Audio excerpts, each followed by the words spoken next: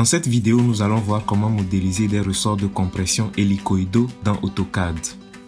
Un ressort de compression, comme son nom l'indique, est conçu pour être comprimé. La sollicitation qu'il est destiné à subir est principalement axiale et dirigée vers ce dernier. Suivant leur forme, on distingue deux principaux types de ressorts de compression hélicoïdaux. Les ressorts de compression cylindriques, dont les diamètres de base sont égaux, et les ressorts de compression tronconiques, dont les diamètres de base sont différents.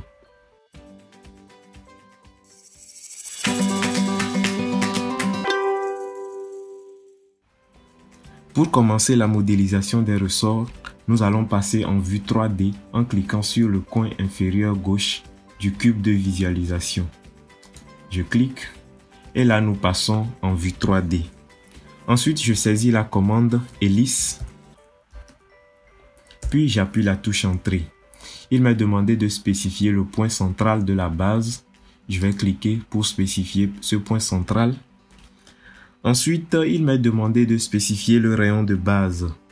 Je vais spécifier un rayon de base de 75 unités. Je saisis 75, puis j'appuie la touche Entrée pour valider. Je vais dézoomer. Ensuite, il nous est demandé de spécifier le rayon supérieur je vais spécifier un rayon identique au précédent. Pour cela, je saisis encore 75, puis j'appuie la touche Entrée. Cette fois, il m'a demandé de spécifier la hauteur de l'hélice. Je vais spécifier une hauteur de 500 unités, puis valider. Et là, nous voyons l'hélice qui vient d'être créée. Ensuite, je vais sélectionner cette hélice, puis je fais un clic droit. Je vais aller ensuite cliquer sur la ligne propriété rapide. Et ici, je vois les propriétés de l'hélice que je viens de créer. Nous voyons la hauteur 500, le nombre de tours, ça fait 3, le rayon de base 75 et le rayon supérieur qui fait également 75. Je vais changer le nombre de tours et passer à 8 tours. Je saisis 8, puis j'appuie la touche Entrée. Et là, nous voyons notre hélice qui vient d'être modifiée. Je vais fermer la fenêtre des propriétés rapides ici. Ensuite, je vais copier cette hélice. Pour cela, je saisis le raccourci CP de la commande copier, puis j'appuie la touche Entrée. Il m'a demandé de spécifier le point de base. Je vais spécifier ce point de base de l'hélice ici, puis copier cette dernière là. J'appuie ensuite la touche Entrée pour valider la copie de l'hélice. Maintenant, je vais sélectionner la deuxième hélice, puis effectuer un clic droit. Ensuite, je clique toujours sur propriété rapide. Puis, je vais changer le rayon de base. Je vais spécifier un rayon de base de 200 unités. Je saisis 200, puis j'appuie la touche Entrée. Et voilà la seconde hélice modifiée. La première hélice que nous avons dessinée ici va nous servir à modéliser le ressort cylindrique et le ressort tronconique sera modélisé à partir de cette seconde hélice. Avant de continuer, nous allons activer l'onglet des outils 3D d'AutoCAD. Pour cela, nous allons faire un clic droit à ce niveau, puis aller à la ligne Afficher onglet. Ensuite, je clique sur Outils 3D, puis je vais aller à l'onglet des outils 3D que je viens d'afficher.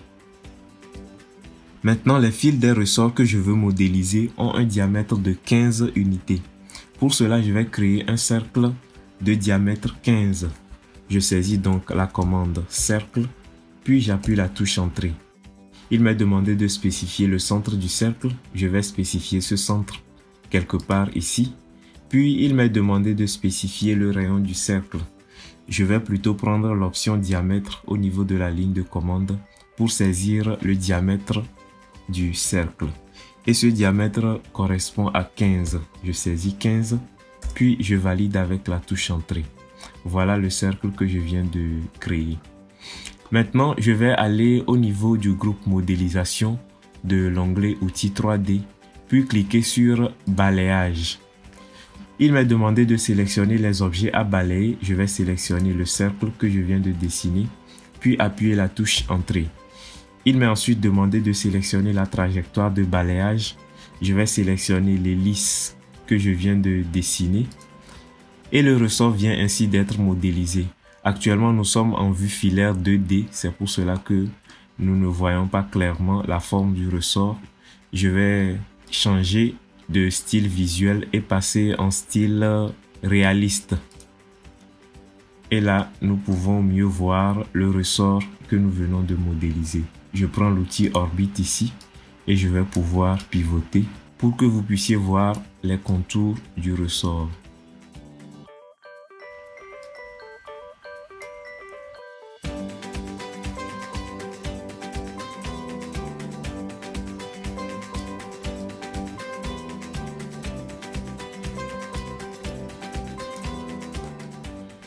j'appuie la touche échappe. Puis je vais faire de même avec l'hélice tronconique qui est ici. Pour cela, je saisis encore la commande cercle. J'appuie la touche entrée. Il m'a demandé de spécifier le centre du cercle. Je vais spécifier ce centre quelque part ici. Puis spécifier le diamètre. Je clique sur diamètre ici. Puis je vais spécifier un diamètre de 15 toujours. J'appuie la touche entrée. Et voilà le cercle qui vient d'être créé ici. Maintenant, je vais encore cliquer sur le bouton balayage ici. Je peux cliquer sur ce bouton ou bien saisir la commande balayage. Donc, je clique sur le bouton balayage. Puis, il m'a demandé de sélectionner les objets à balayer. Je vais sélectionner le cercle qui est ici, puis appuyer la touche Entrée. Il m'a demandé de sélectionner la trajectoire je vais sélectionner l'hélice tronconique que j'avais dessinée en seconde position ici, puis cliquer. Et voilà le ressort tronconique qui vient d'être également modélisé. Je reprends l'outil Orbit ici pour pivoter une fois encore.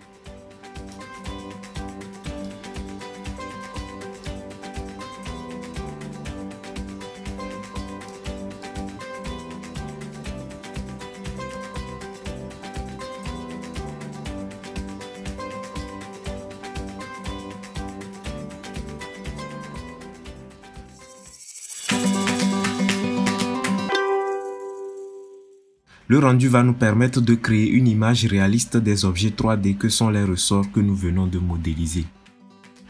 Pour effectuer ce rendu, nous allons encore faire un clic droit à ce niveau, puis afficher l'onglet Visualiser. Voilà l'onglet Visualiser. Mais avant d'aller au rendu, nous allons définir le matériau des ressorts. Pour cela, nous allons au groupe Matériaux ici, puis nous allons cliquer sur Navigateur de matériaux. Dans ce navigateur de matériaux, nous avons la bibliothèque d'Autodesk qui nous propose certains matériaux. Maintenant, en supposant que les ressorts que nous venons de modéliser sont en acier, nous allons les sélectionner, puis aller au navigateur des matériaux. Maintenant, nous allons chercher le matériau acier, puis faire un clic droit dessus. Ensuite, nous cliquons sur affecter à la sélection pour affecter le matériau acier au ressort que nous venons de modéliser. Donc je clique sur affecter à la sélection et les ressorts sont désormais définis comme étant en acier. Maintenant pour créer le rendu, nous allons au groupe rendu ici, puis nous allons au niveau du bouton taille de rendu. Nous allons ensuite cliquer sur taille de rendu, puis spécifier une résolution en Full HD TV. Donc je clique sur Full HD TV puis je vais cliquer sur le bouton rendu ici.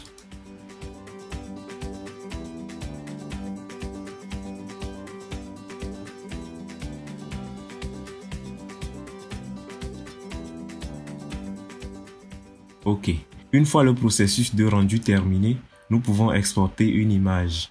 Pour cela, nous allons cliquer sur le bouton enregistrer, puis nous allons enregistrer cette image sur le bureau ici. Je vais renommer ce fichier ressort, puis appuyer la touche entrée. Ensuite, je vous conseille de sélectionner l'option de couleur 32 bits et 300 points par pouce. Donc, je saisis 300, puis je valide avec la touche entrée. Maintenant, une fois le fichier enregistré, je peux le retrouver sur le bureau. Et il est là. Je vais l'ouvrir puis voilà le fichier que je viens d'enregistrer. Avec ce fichier qui est au format PNG, on a l'avantage d'avoir une image des objets sans arrière-plan. Pour vous expliquer un peu, je vais insérer celle-ci dans un document Word. Je crée un nouveau fichier, puis je vais insérer cette image dans ce document. Donc je vais au bureau, puis je sélectionne l'image. Là, vous voyez l'image qui est insérée sans arrière-plan. Je peux même changer la couleur de la feuille. Donc pour cela, je vais à conception, puis je vais à couleur de page. Et je peux changer la couleur de la page. Si je prends par exemple cette couleur bleue, vous voyez donc qu'on a juste une image des deux ressorts sans arrière-plan. Je reviens à une page sans couleur.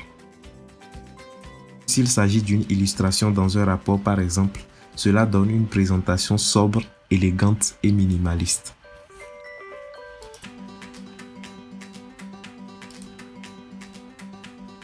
Voilà ainsi présenté la modélisation des ressorts de compression hélicoïdaux de forme cylindrique et tronconique dans AutoCAD. Si vous venez de me découvrir ou souhaitez en apprendre davantage sur la modélisation 3D ou le dessin 2D, n'hésitez pas à vous abonner. Sur ce, gardez votre singularité et restez créatif.